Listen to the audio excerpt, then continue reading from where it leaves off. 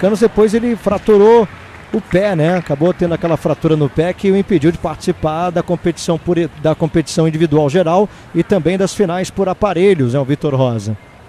Inclusive, ele foi nosso companheiro, comentou no Sport TV também os Jogos Pan-Americanos, a ginástica, deu a sua contribuição para a gente também. É, muito bom ter o atleta, né, falando do, dos companheiros. E a gente se sente mais próximo.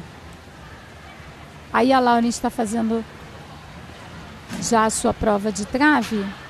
Ela fez a reversão sem as mãos ali com as pernas unidas e seguiu com o mortal grupado para trás. Uma sequência bonita, ganha pontos, difícil.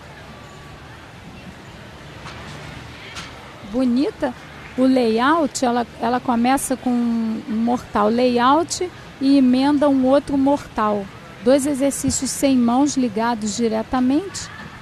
Aí a reversão para frente sem as mãos, um pequeno desequilíbrio e o mortal para frente ela começa parado, ela nem, nem dá passo nem nada.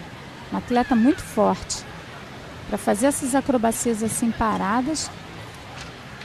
Olha um salto com o pé na cabeça muito bem realizado.